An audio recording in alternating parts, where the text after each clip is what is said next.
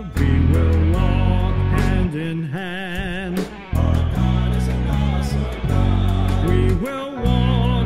each other.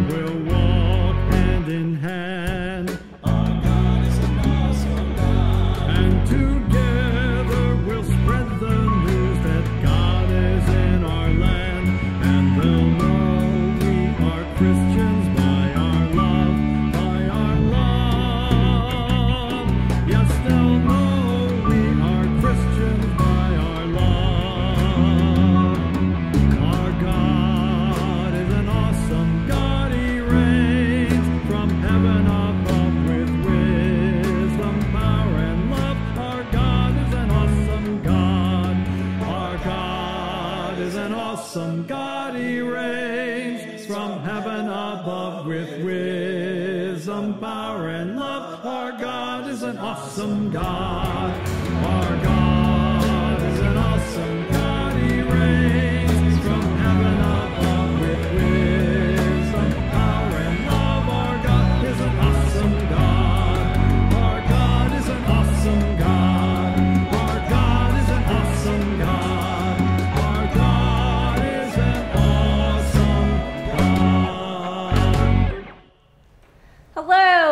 Welcome to New Horizons Christian Church. Uh, as you all know by now, our drive in worship that we were supposed to have today was canceled because of the weather. It was one of those difficult decisions, but in the end, when we weighed everything out, we knew it was the right decision. So this is coming to you a little bit later, but you know, better late than never, right? So um, Next week we'll also be a recorded YouTube service, but then the weekend after that, we're going to try for another drive in worship. So uh, we just do what we can do and go week by week, just like everything in life right now.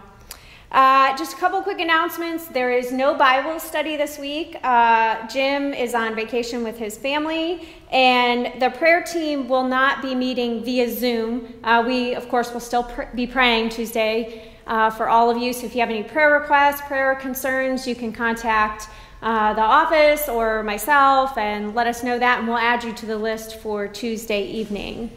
Um, and we continue our Camp Christian series. Uh, we can't go to camp this summer, so we're bringing camp to you. And I dug another one of my favorite camp t shirts out today, and I noticed I have paint on the back of this one, so good thing you can't see back there. Um, but today's uh, camp story that we bring to you is about a man named Martin. And the story is Where Love Is, There Is God. So I'll be bringing that to you here shortly. So, as we begin our time of worship, let's do so with prayer. Gracious and loving God, we thank you for the gift of this day. While our plans didn't work out the way they thought we would, that doesn't mean we can't come and worship you together. We can't come and bring to you what we need to bring to you, and we can't spend time just being in these moments and in this sacred space. It doesn't matter if it's outside the building, inside the building, it matters that we are there with you, God. So we thank you for the gift of this day that we can do that, and for the gift of this time set aside that is just us with you and for worship. God, we pray that you open our eyes for what you might want us to see, open our, our ears for what you might want us to hear, and open our hearts to know that where love is, God, you are there also. We pray this through the Spirit and through the Christ. Amen.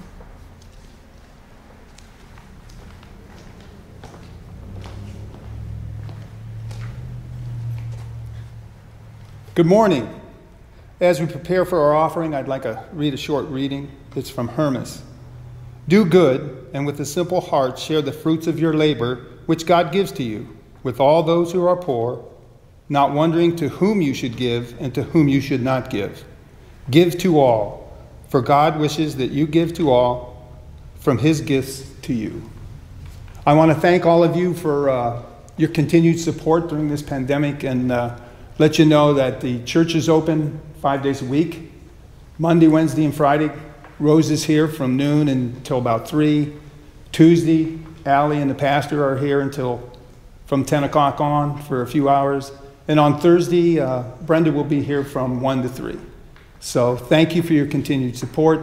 And uh, it's wonderful that uh, you've been giving so much that we can continue to do God's work here at uh, New Horizons Christian Church. Thank you.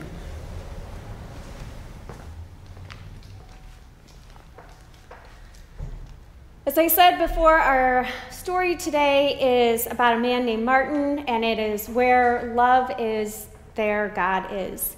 And the two scriptures um, that kind of go with this story the first one is from Luke uh, chapter 6, verses 46 through 49. Why do you call me Lord, Lord, and do not do what I say? As for everyone who comes to me and hears my words and puts them into practice, I will show you what they are like. They are like a man building a house who dug down deep and laid the foundation on rock. When a flood came, the torrent struck that house but could not shake it because it was well built. But the one who hears my words and does not put them into practice is like a man who built a house on the ground without a foundation. The moment the torrent struck the house, it collapsed and its destruction was complete. The second reading comes from Matthew chapters, chapter 25, verses 31 through 40. When the Son of Man comes in his glory and all the angels with him, he will sit on his glorious throne.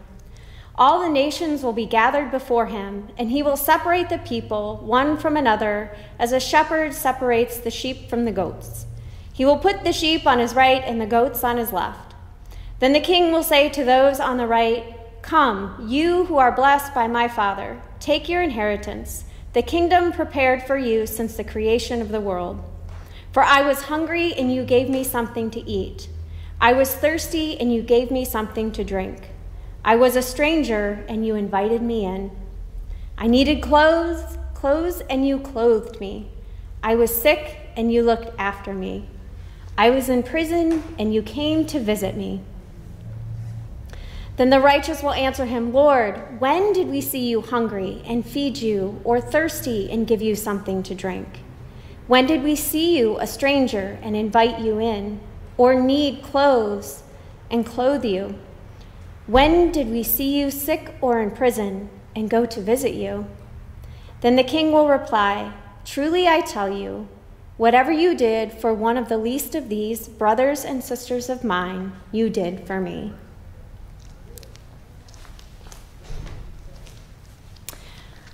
A long time ago, in a city far away, lived a man named Martin. And Martin was a shoemaker. He lived in a basement of a home, and it only had one little window that was right at the street level and looked out on the street. Although only the feet of the people passing by could be seen, Martin could easily recognize every person by the shoes they were wearing. He had lived in that particular city for a long time and knew many of the people. Nearly every pair of shoes and boots worn by the people had passed through his hands at one point or another. Some he would resole, some he would do new stitching on, some he would simply patch. Whatever it was, shoes and boots all came to Martin for repairs. Because of his good work and all his great qualities, everyone knew Martin, and he was never out of work to do. Throughout his life, Martin was always what you would consider a good man. But as Martin started getting older, his life had an emptiness to it. You see, Martin's wife died a great many years before, leaving Martin to care for their very young son, all on his own. It wasn't the easiest task to raise a son alone, and Martin had his struggles. But as his son grew, he became a help to his father. Unfortunately, that didn't last long, as Martin would have liked, because his son grew quite ill. And after a short period of suffering, his son passed away. After Martin buried his son, he fell into a very deep despair and found himself complaining to God. Martin's despair was so great, not only did he complain to God, but he shouted at God for not taking him, who was an old man, instead of his son, who was young and had a lot of life ahead of him. Martin's heart was very, very broken. One day, a customer came to see Martin, and he asked Martin about his family. And so Martin began talking to the visitor and shared his sorrows. I have little desire to live. I am a man without any hope. The customer told Martin, We must not judge God's doings. I think you are in despair because you wish to live for your own happiness. But, well, then what shall I live for? Martin asked. We must live for God, Martin. God gives us life, and for God's sake, you must live. When you begin to live for God, your life will be full. Martin was quiet for a few moments, and then he said, But how can one live for God? Christ has taught us how to live for God, the man said. And then he suggested to, that Martin should go buy a Bible and he should read it. And that when he read it, there will he will find out how to live for God. Later that very same day, Martin went out right away and bought himself a Bible and he began reading. And at first he thought, well, I'll just read it once a week or I'll just read it once in a while. But as soon as he started reading it, it cheered his soul and fed him so much that he read it every day. At times, he would read it so long that all the kerosene in his lamp on his table would burn out, and he would still be reading in the dark. He couldn't tear himself away from the book. And the more Martin read, the clearer he began to understand what God wanted from him and how he should live. From that time on, Martin's whole life began to change. Martin found himself living a life that was no longer filled with sorrow, but one that was beginning to come mo- more and more joyful. Every day, Martin would wake up and do his work, and then he would read the Bible, and every day his heart would grow just a little bit brighter than the day before. One night, Martin was reading very, very late into the night. He happened to be reading in the Gospel of Luke. He came across a verse that said, If someone slaps you on the cheek, turn to them the other also. If someone takes your coat, no, do not withhold your shirt from them. And then it read, he read on and it says, Why do you call me Lord, Lord, and do not do what I say? As for everyone who comes and hears my words and puts them into practice, I will show you what they are like. They are like a man building a house who dug down deep and laid the foundation on rock. When a flood came, the storm struck, and the house could not be shaken because it was well built on a good foundation. But the one who hears my words and does not put them into practice is like a man who built a house on the sand with no foundation. The moment the storm struck, that house collapsed and it was destroyed. Martin read these words and sat and thought for a moment and wondered, I wonder which house I am like. I want to be the house that's built on the rock. And in those moments, he softly said, Help me build my house on the rock, Lord. After his moments of reflection, despite being tired, Martin wanted to keep reading. He went on, he read about the widow's son and John's disciples and, and how the rich Pharisee wanted Jesus to sit with him. He read how the woman that was a sinner anointed the Lord's feet and washed them with her tears and was forgiven. Then he reached the verse and it said, Then he turned toward the woman and said to Simon, Do you see this woman? I came into your house. You did not give me any water for my feet, but she wet my feet with her tears and wiped them with her hair. You did not give me a kiss, but this woman, from the time I entered, has not stopped kissing my feet. Martin finished reading this and thought, You gave me no water. You gave me no kiss. You did not anoint my head with oil. Martin thought to himself, I am too much like that Pharisee, thinking only of myself, keeping warm and comfortable, and never thinking about my guests. And if the Lord had come to me, how would I have acted? Since it was so very late and Martin was so very tired, at some point in his wonderings and readings, Martin fell asleep at the table. Martin, a voice called from somewhere. Martin, startled and was half asleep, and kind of looked around and asked, Who is there? But nobody answered.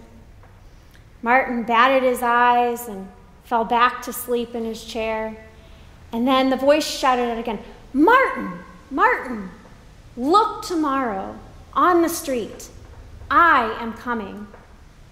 Martin looked around again through sleep filled eyes, didn't see anyone, and was struggling to figure out what had just happened. Martin couldn't tell if it was a dream or if someone really had been in his house, or maybe they were shouting from the street. Everything was dark and it was very late, so Martin decided, I need to go to bed. The next morning, Martin woke up, he said his prayers, and he began getting ready for the day. He put some cabbage soup on the stove so that it could cook all day. He began heating up his tea kettle, and with his apron on, he sat down at his table by the window to begin his work for the day. As Martin was sitting by the window, his thoughts were on his strange night and how the voice he had heard surely must have had to have been a dream even pretty assured that it was a dream. Martin kept his eye out the window a little more during the day. Thinking he was getting crazy in his old age, Martin thought to himself that maybe, maybe he was wrong. Maybe he did hear a voice. Maybe Christ might come to his house. But as Martin looked out the window after that thought, the only person outside his house was an older man named Stephen. This caught Martin's attention, and he decided that Stephen looked like he could use a cup of tea. Martin tapped on the window and waved him inside. When Stephen came inside, he began trying to wipe his wet, mucky boots on the, on the carpet, but Martin said, Don't worry about it. I'll clean it up. Just come in and get warm. Martin filled two cups of tea, one for him and one for Stephen. Stephen quickly finished his, and Martin quickly poured him another one. And while sitting together, Martin couldn't help but glancing through the window into the street from time to time. Stephen noticed Martin's distraction with the window and asked Martin if he was expecting someone. Am I expecting someone? Well, I am, and I am not.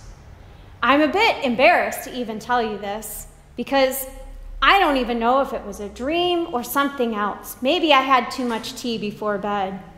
But last night, when I was reading the Bible, and I was reading about Christ and all that he did when he was on earth, have you heard about it? I have, Stephen said. I can't read, but I have heard the stories. Martin began to tell Stephen about the reading, about the Pharisees, and how he didn't show him how he didn't show Jesus any hospitality. And so, as Martin was reading, he told Stephen that he wondered maybe he wouldn't know how to receive Christ. So, Martin was thinking about what he would do in that situation, and Martin told Stephen, while I was doing all that thinking, I fell asleep. And while I was sleeping, I heard a voice tell me to be on watch tomorrow, that I shall come. Martin said, and that didn't happen once, that happened twice.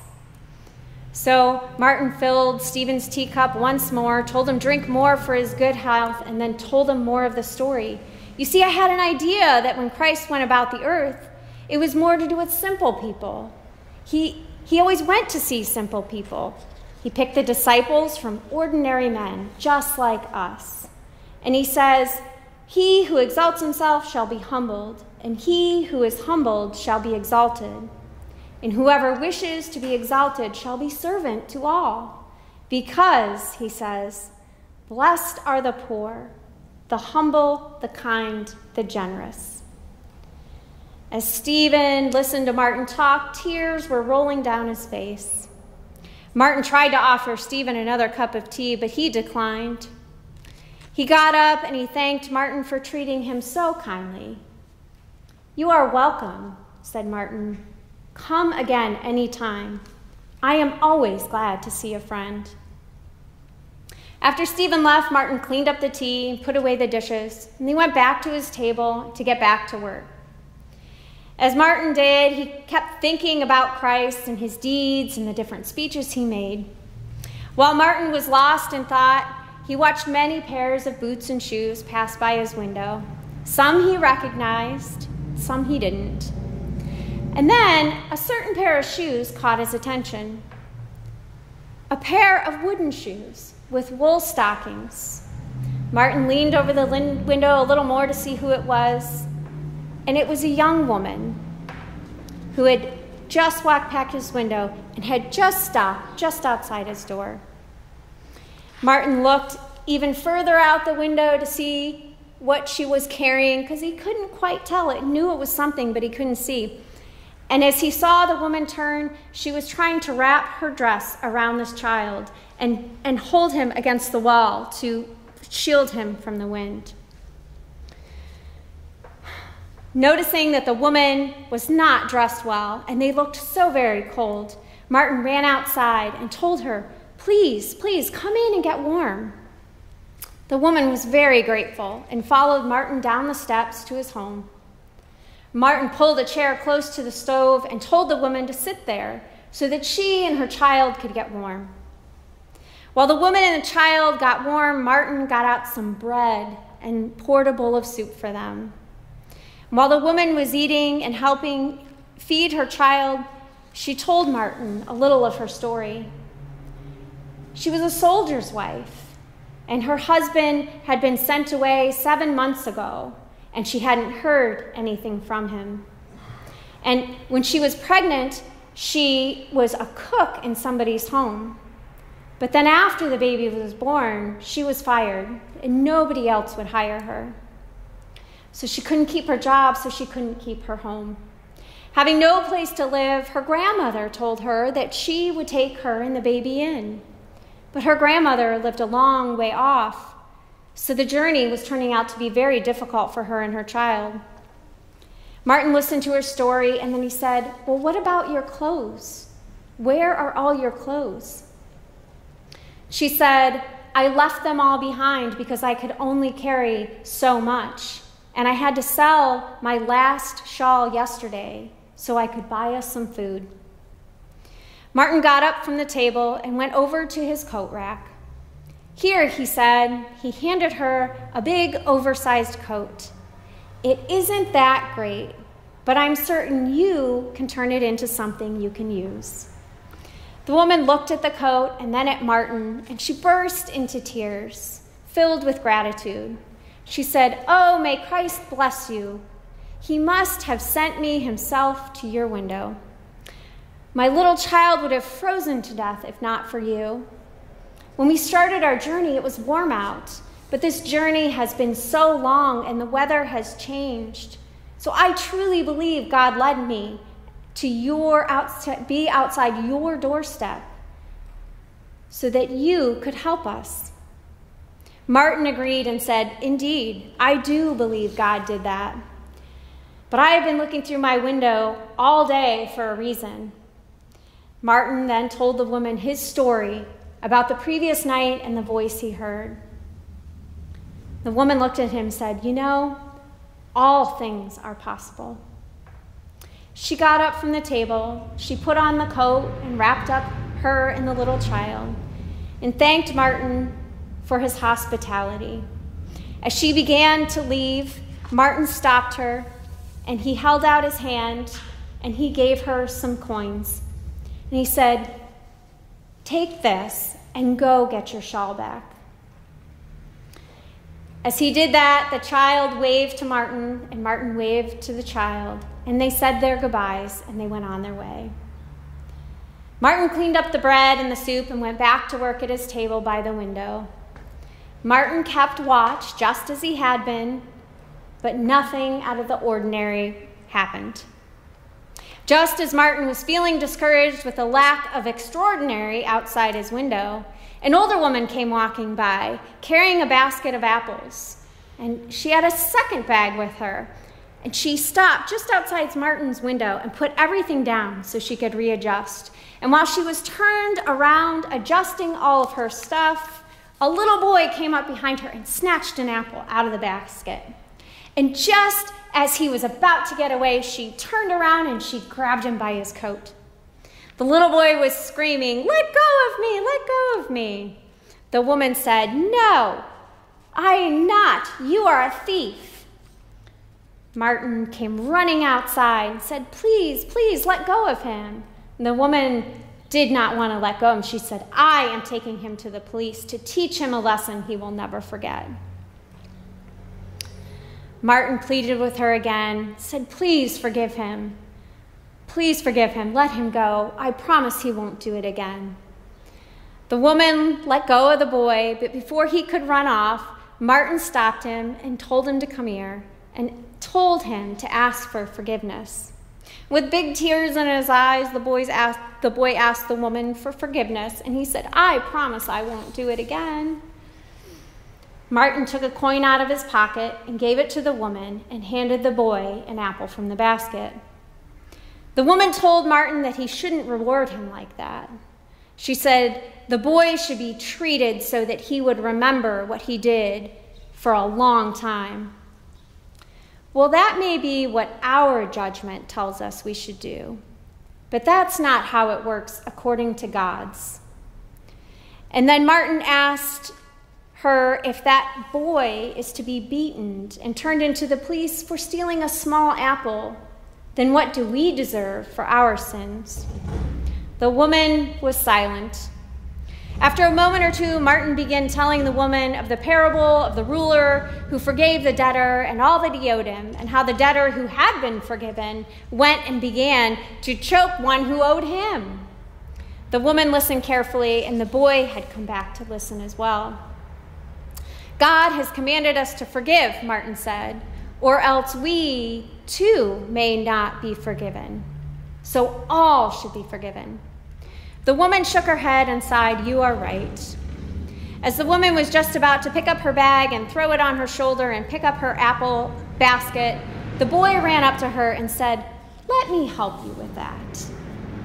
The woman agreed and helped put the bag on the boy's back, and off the two went. Martin stood in the street and cheerfully watched the two walk and talk as they went on their way. A few moments later, he headed back to his home and back to his table to continue his work. It eventually grew dark, and Martin had difficulty, so he lit his lamp and put his work away for the day. Once everything was all squared away, Martin got out his Bible to read again. And he intended to read where he left off the day before, However, when Martin opened his Bible, it opened to a different spot. Before he could turn the page to, correct, to, to the spot that he had finished yes, the day before, something strange happened. It was a sound as if someone was in his house. He turned around to look, and there in the corner, it seemed as though there were people standing there. But Martin couldn't see them that well, and he had no idea who they were. Martin, don't you recognize me? Who? replied Martin. Me, it is I. And he could see the face of Stephen in the corner, in the dark. And he stepped just forward enough for Martin to see him smiling. And then, like a little cloud, it was gone. And it is I, said the voice from the dark. And then, then he could see the face of the young woman and the child. And he could see them and they smiled, and then their faces were gone. And it is I, said the voice, and both the old woman and the little boy's faces could be seen, and they smiled, and then they were gone.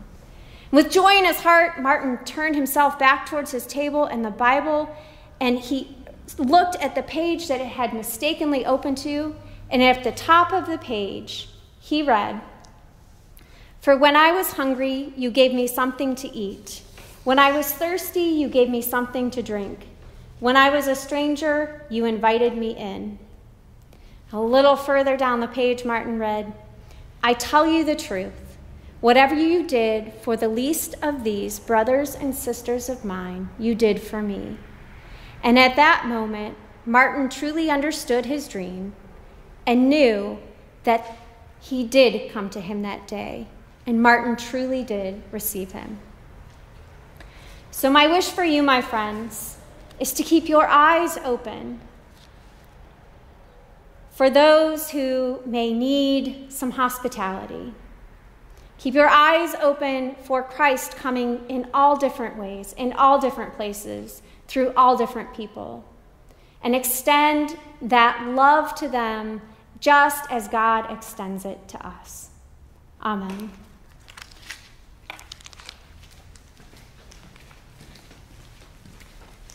And now we come to the communion table. This is what God commanded us to do to remember Him by, because He did this for us. Join me now in the Lord's Prayer. Our Father, who art in heaven, hallowed be thy name. Thy kingdom come, thy kingdom come, on earth as it is in heaven. Give us this day our daily bread, and forgive us our debts as we forgive our debtors and lead us not into temptation, but deliver us from evil. For thine is the kingdom, and the power, and the glory forever. Amen.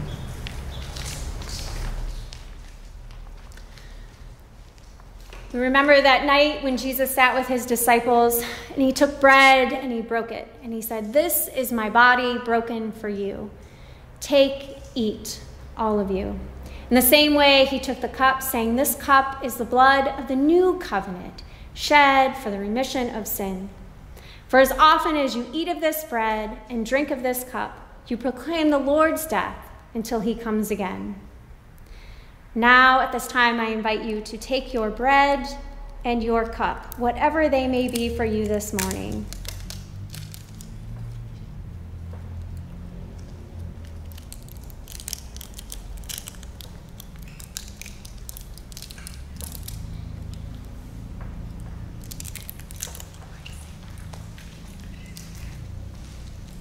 Lord, we thank you so much for being there for us. You're our rock, you're our salvation. You've been with us through so much. This bread that we just partake of symbolizes your body that was broken for us. So many of us are going through trials and tribulations now. Be with us, guide us, and direct us. We just drank a symbol of your blood that is blood of forgiveness.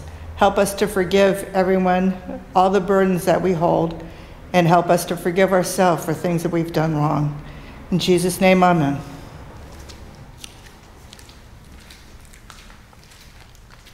Thank you for worshiping with us today. It wasn't quite what we expected, our plans changed, but here we are, anyways. And it has been good and it has been wonderful to have you all with us. So as we go now, let us go in grace, go in peace, and go in love. Amen.